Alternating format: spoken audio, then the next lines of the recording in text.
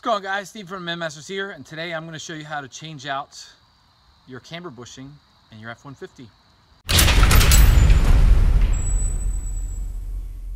So all cars have a camber, caster, and toe uh, adjustment.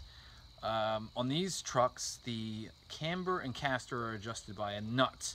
Now the factory nut is somewhat adjustable but doesn't have the same range as these aftermarket kind. As you can see, it looks like one adjustment, but you see there's actually two rotating cylinders. And supposedly you can get this thing all the way over to negative two camber. I don't believe it. I was barely able to get one negative camber on the one side. But uh, I thought I'd show you how guys how to put one of these on because a big problem with uh, camber is without it your tires get really messed up. So here's the tire here. This side isn't very deep and as you can see this side uh, is and that's because I have way too much positive camber on the truck. And how you can tell the difference between positive and camber is you've probably seen those guys in little ricer mobiles and stuff like that, and the wheels slant in like this, that's negative camber. When they slant out, not so common, you may see it on some old cars, that's positive. Most cars are either dead center or with maybe a little bit of negative camber. So in this case, I want to correct all the positive camber that's on my tire and uh, bring it into at least zero, maybe a little bit of negative, so that uh, my tires will wear evenly because, well, the Cooper Discoverers are about 180 bucks a piece, roughly. So I don't feel like having to blow two of them too early. So let's get started. All right, so for this fix, you're gonna wanna take off your wheel and tire, as I've done, to access the camber nut. Now that's it, that big, big thing right there. And it's adjusted all the way in. So you see the thin side, it's not quite center there. So it's adjusted uh, all the way in. Yes, it is. And so the wheel is tipping too far out, giving me too much positive camber. So we want to change it out with something that is adjustable, mainly this camber nut. So that will go right there. Anyway, your limiting factor for how well this is really gonna work is this gap in between these two. So on the other side, I got it so you can fit like a, a credit card in between there and it still will rotate. And then here we can bring it in just a little bit more. Um, I'm also doing the ball joints. I did them on the same side, which are complete pain in the ass. Anyway, so uh, to make things and life go easier for just doing your camber nut, you're gonna wanna pick up a one and one half socket. Now, and you'll need a reducer down to uh, half because this thing is huge. So basically what I did is ton of PB Blaster, some heat from my MAPP gas, and I took this and I just kept spinning it back and forth and prying it a little bit uh, with a little crowbar and eventually came out. But you have to keep spinning it back and forth because the crowbar wants to lift up unevenly on one side and it like jacks it up. So like when it should come out straight, it come it wants to come out sideways and it stops if you use a crowbar. So just keep twisting, twisting, twisting, and then keep lifting it up and eventually, boom, it should pop right out. So uh, I'm gonna do that real quick for you.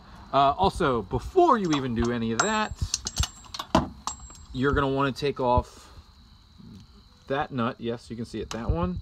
And you need a backup wrench because the other side, because that pinches those two pieces of metal and those two pieces of metal pinch around this and that's how you loosen up to get it out. So uh, another cool thing you can do to help loosen it up is that little crack right there. See where my thumb's pointing? That crack, you can put something in there to help pry open the two pieces and that'll make it easier to come out. So, uh, okay, so for the second time, let's get started. Quick note, if you own an impact gun, your life's gonna be amazing. So, had I had this before, it'd be much easier. So all I did is I hooked this up to my impact gun and I went to, and I just spun it uh, for about 10, 12 seconds. Boom, the nut popped off. I mean, it took me, I, you don't want to know how long it took me to do it the other side by hand. Uh, all right, I should tell you because you're gonna have to do this. So the other side probably took me about 10 minutes of BSing to get this thing out, where this took me about hmm, 20 seconds. So that's the real fix. Now we got it off and you have access to your top ball joint, which on this is really, really wiggly. Uh, I take that as a sign that it needs to be changed. So kudos for me for wanting to do all this. Uh, so I'm going to hold off on putting that back in, but I'll get back to you when it comes time to put it in. All right, so I replaced the ball joints as I said I was going to, and I'm back with you to put this little guy in here. So I played with this on the other side to get a, uh, you know, kind of a, a setup that I like, which in this case involved this configuration with the letters and such. So uh, basically what you do is you put this in here and you take a socket and you put it down that fits right in the top of this and you hammer it in and then you're all set to go. And if you need to make any adjustments, like I said, you get these big boys and they fit right down on top and you can adjust it every which way you want. So I'm gonna go put this in here and you guys can have a look when I'm finished. So you're wondering, oh man, it's uh, no longer dark, it's daylight. So uh, I didn't have time last night to shoot the last part of the video so that you can see what it looks like with the camber nut on. Uh, once I got it all said and done, I finished about 10.30 and my dad and I were so eager to test drive the truck and see how she handled with the new ball joints that, well, I had to run out and of course it's 10.30, I had to pack up, you gotta go to bed, you know, all of us have normal lives. So anyway, for all of those who are deciding to do this and you think you have no time, you can do it. Just start Saturday and finish it Sunday if you need to, or just finish it late Saturday night. You can do it. So anyway, I'll show you what it looks like. So uh, that's the new camber nut in. And uh, the ball joint came with the new the new bolt and uh, nut there. Uh, so you won't get that with your the camber nut. But it's in place and like I said, I adjusted it yesterday so that I had it on the same setting as the other side.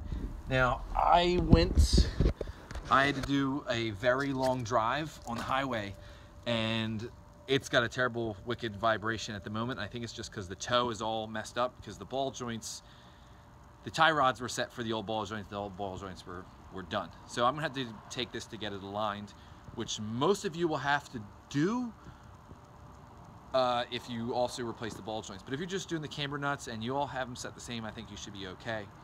Um, so if your truck, it's an F100, F150, anyone that has a twin traction beam suspension, and that also includes Broncos, and you've got a ton of positive camber or a ton of negative camber, and you don't know what to do, go get the camber nuts, give this a shot. Like I said, if you have an impact gun, yeah, you get this done absolutely no time.